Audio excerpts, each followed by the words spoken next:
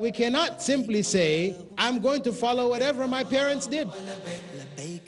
That this is my source of gaining knowledge of Islam. Because if my parents didn't get their knowledge from Rasulullah then there is a possibility that their knowledge is incorrect. This is something we have to realistically look at.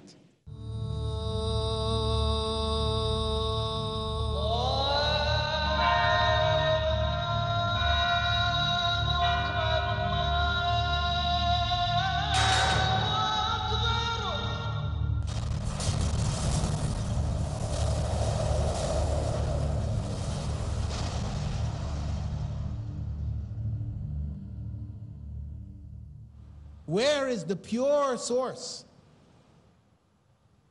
The spring of life, where is it? It is in the Quran and in the Sunnah. This is where it is. It is in the Quran and in the Sunnah. This is revelation from Allah. This is where salvation, where life lies. And we have to be very careful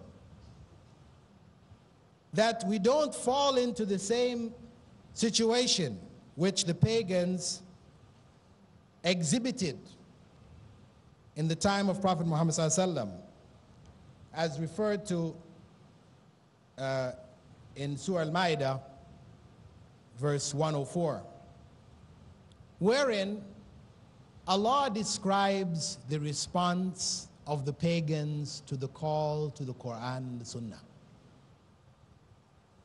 If we said this is the source of life, and the pagans who went astray, who died in a state of disbelief and went to hell, their response we should be well aware of. What was their response? Allah says in Surah Al-Ma'idah, وإذا قيل لهم تعالوا إلى ما أنزل الله ولا الرسول And if you say to them, Muhammad وسلم, come to what Allah has revealed and to His Messenger, to the Quran and to the Sunnah. قالوا, their response, حسبنا ما وجدنا عليه آباءنا. It is enough for us what we found our foreparents doing. It is enough for us what we found our foreparents doing. This was the response of the pagans. This was the response of disbelief. This was the response which caused Abu Talib to go to hell. Abu Talib who raised Prophet Muhammad who knew who he was, who knew he was a prophet of Allah subhanahu wa ta'ala. But on his deathbed, when Prophet Muhammad invited him and said, Say La ilaha illallah, uncle, say La ilaha illallah, and I will be a witness with you before Allah on the day of judgment.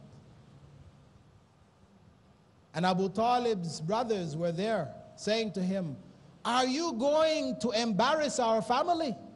Are you going to degrade our family? Are you going to reject the ways of our foreparents? Were our foreparents all wrong? Was Abdul Muttalib wrong? Was Abdul Manaf wrong? Were they all wrong? Are you going to reject that? And Abu Talib chose to go with the way of his foreparents. And what was the result? Prophet Muhammad said that he receives the least punishment on the day of judgment. The least. For the good that he did in terms of raising the Prophet Muhammad protecting him, etc., etc. He received the least. But what is the least? Described in Sahih Muslim. That the hellfire will reach up to his ankles. Only his ankles will be in the hellfire. But it will be enough for his brains to boil. And he will think that he is receiving the worst punishment of anybody in hell. That is the re- result. That is the consequence of that response. Hasbuna ma wajadna alayhi aba'ana. It is enough for us what our foreparents did, what they're doing. That's enough. This is the response of misguidance, the response of the pagans. So we have to be very careful about this. When we are invited, when somebody invites us to what Allah and His Messenger said, that we do not respond to them by saying what? Well, this is not what my parents did. My parents were doing something else, and I'm going to do what they did. I am from this community or that community. Our community does this and that and the other. The explanation is not, well, Allah also said that, or Prophet Muhammad also said that. So we can properly choose, because of course, not everybody who comes to you and says, Allah said this and the Prophet said that, is necessarily having the right understanding, and so you just automatically should stop whatever you're doing and follow it. Because the knowledge of the Quran is vast, and the Sunnah is also vast. Therefore, we also have to have a knowledge and a comparative knowledge of, of the Sunnah as well as the Quran. So, that response, which is based on comparative knowledge, this is an acceptable response. This is, we're trying to judge what is right according to knowledge. We're not doing it according to emotion because this is what was the response of the pagans. That is based on emotion. My parents did it. My grandparents did it. My great grandparents were doing it. So were they all wrong? Am I going to say they were all wrong? See, this is emotion. This is not looking at a thing, is it right or is it wrong, really? Factually speaking. You know, we have, what is our criterion for determining right and wrong? Emotion blinds. We have to do it on the basis of knowledge, correct knowledge. So, we have to develop the correct knowledge of Allah, the correct knowledge of the Sunnah,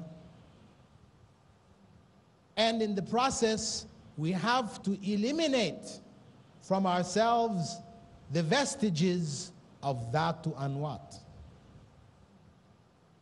Meaning, we have to look into ourselves and into our practices and remove those practices which are from pre Islamic times, which we have inherited, which we have adopted from the cultures around us, etc. Some of these practices may seem very simple. Some of them may seem very big. But we have to know that no matter how small things are, for us to make a big change, we have to be able to make small changes. Because if we find difficulty in making small changes, you can be sure we're not going to be able to make the big change. So, when knowledge comes to us on a personal level, that knowledge may be about simple, small things in terms of men. That knowledge may be, brother, grow your beard. Prophet Muhammad he said in Sahih Bukhari, grow your beards and trim your mustaches. Some brothers say, this is not important. It's not an important part of the religion. Islam is in the heart. You must be sincere, everything else. This is what needs to be. No, these outward things are not important. But one has to question oneself. Is Islam only inward or is it both inward and outward? Why are we so reluctant? Why are we so unwilling to do something so basic when there's clear instruction for us? Or another person may say, Brother, your pants are below your ankles. Raise your pant above your ankle. Brother, what is this? Is this all the religion is? It's just about your short pants or long pants? Come on, man. This is more important things. You know? There's an atomic bomb being developed here in India and one in, in Pakistan, and what's going to happen? And you're going to tell me about shortening my pants? We have to question here. You see, this is a small thing. It may seem to be insignificant. But Prophet Muhammad he said in authentic hadith that what is below the ankle is in the hellfire. He said that. You can be a good Muslim by performing your rituals, by behaving yourself in a good manner that represents Quran and Sunnah. Prophet, peace be upon him, prohibited all forms of alcohol and narcotic. It is haram. It is prohibited. Whatever good you do it's gonna transform into blessing from Allah Azza So you have to know what Allah wants from you. Um, so we should try to, you know, to be the best Muslim that we possibly can be. Heart-to-heart counseling in Youth Talk tomorrow at 5.30 p.m. Saudi Arabia and 6.30 p.m. UAE on Peace TV. Sundays provide. In Britain, we are facing one big problem that are you Muslim or British? The space to talk. In India, back home, they ask, are you a Muslim first or Indian first? And we Muslims should know how to reply, how to turn the tables over the place to knock. Why Trinity cannot be regarded in that sense, Father, Son and Holy Spirit. The opportunity to ask. But even if we agree that what the Christians say, that he was crucified, so if Jesus Christ, peace be upon him, died for three days, who controlled the world? That means even God died? The freedom to unmask. So there are various ways which we can prove the argument to be wrong. Let's meet Dr. Zakir every Sunday at 7 p.m. Saudi Arabia and 8 p.m. UAE on Peace TV. الحمد لله رب العالمين الرحمن الرحيم مالك يوم الدين. إياك نعبد وإياك نستعين. اهدنا الصراط المستقيم صراط الذين أنعمت عليهم. غير المغضوب عليهم ولا الضالين. آمين. Taravi next on Peace TV.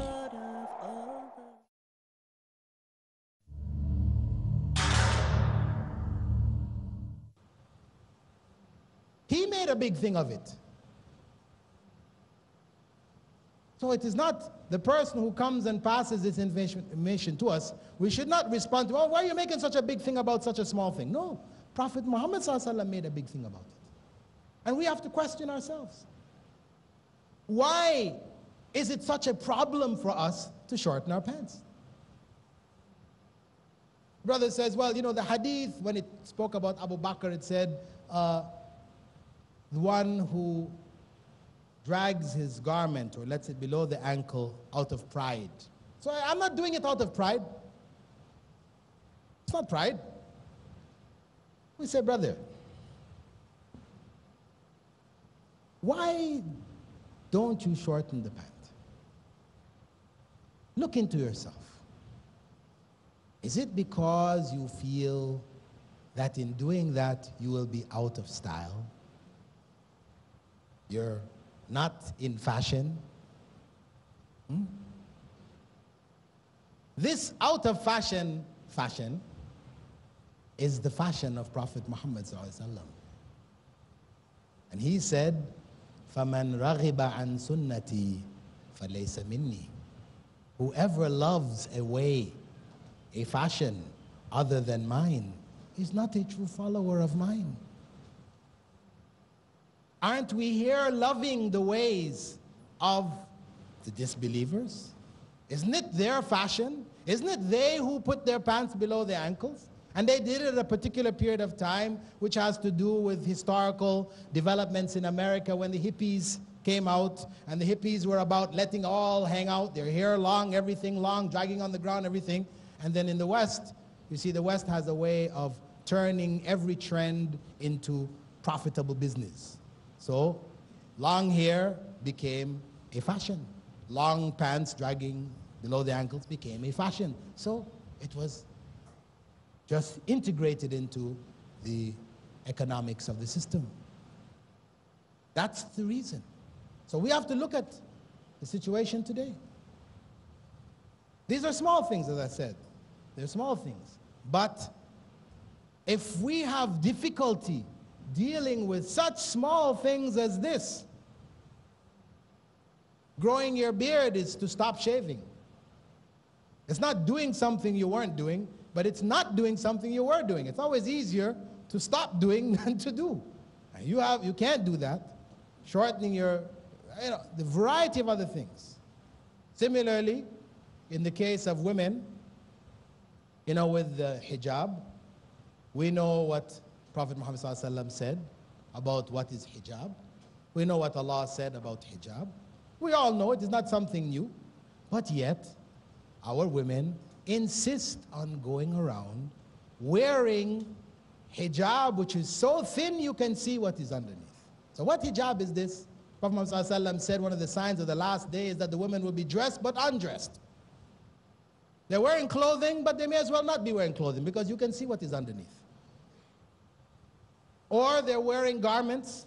You know, the, instead of wearing the outer garments which should cover them in loose fashion, etc., they're wearing styles which are tight fitting. You can see the shapes of their bodies and all this kind of thing.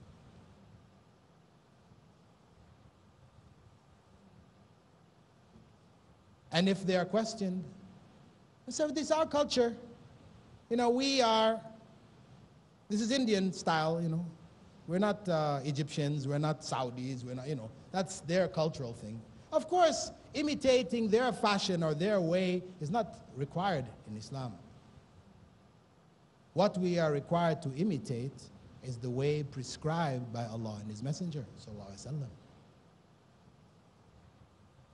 So, it is essential for us to look back into ourselves and to make these kind of corrections. It's essential for us to look into our families and the role of the families with regards to education, the responsibilities. We have a responsibility to teach our children, to create an environment in the home which is an Islamic environment, which will encourage them to remember Allah. If our environment in the home is television, watching Hindi movies and, you know, singing, dancing, all this wild stuff, and then we wonder when our children want to get out and do these same things, we say, why, why? You know, this is not Muslim. But this is what we have raised them on. We have a responsibility in the home, that area that we control, to establish an Islamic environment. An environment wherein the remembrance of Allah is there. Not to say that it is without fun, without laughter, without you know, the enjoyment of life, yes. But it should be in accordance with the way and the guidance that Prophet Muhammad gave us. Similarly, in the community, there is a responsibility for education. And when we look at the family and the community, we have to look at issues. There are certain pressing issues in the society today which have to do with the practices of the people of the past. And I just mention them because I know it is a disease here. The disease regarding dowry, for example. These are family problems now, community problems. The dowry issue. That when a man wants to marry his daughter, he has to give money, wealth to the bride, groom, bridegroom, the male. Islam has mahar. The mahar is given by the male to the female to indicate as symbolic of his preparedness to look after that young lady, that lady, that woman. This is mahar. That's what we have in Islam. But in Hindu culture, and in Christian culture, the practice is the opposite. They paid the men to marry their daughters. This is their practice. As a result, you have the phenomenon in India of bride burnings. I'm not telling you something that you're not well aware of. How many hundreds of women are burnt to death every year by their husbands and their mothers in laws and others because they didn't bring the dowries that were promised, or the family wants more. Now, one may say, oh, that's their problem. But guess what? I read in the newspaper uh, not too long ago that in Dhaka, well, you might say it's not India, but it's India. I mean, people draw the lines and said this is Bangladesh and this is India, but reality, it is all one. In Dhaka, it said, a greedy husband burned to death his young wife at Sikpara in the city following a feud over dowry, police said.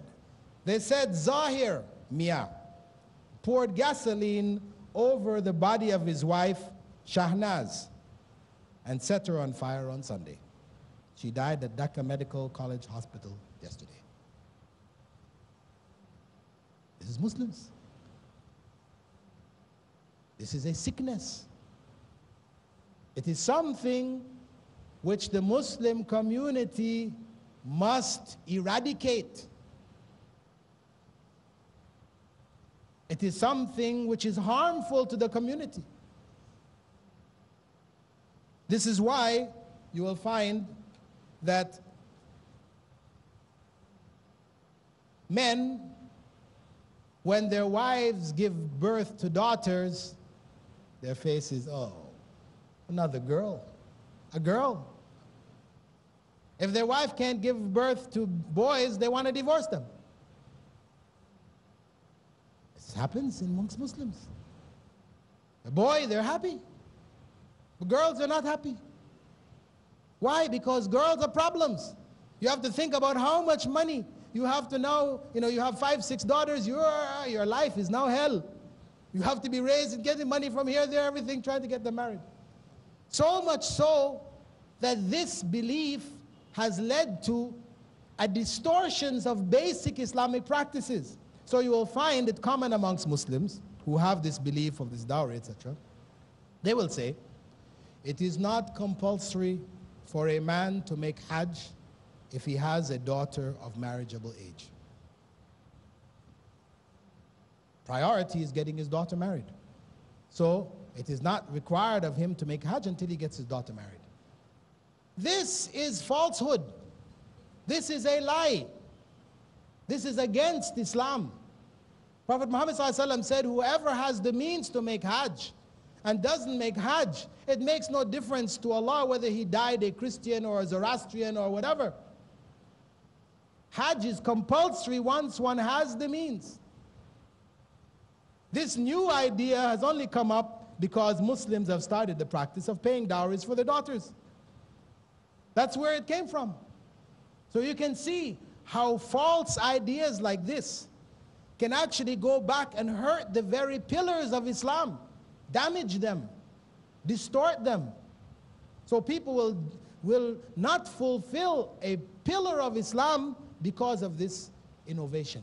I just would like to, in the few remaining minutes, touch on some other aspects related to the establishment of Islam in a non-Muslim society.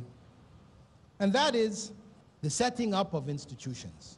So it is essential for Muslims to establish academic institutions which have the proper ethos, the proper concept, the proper goals, the prof- proper uh, methodologies.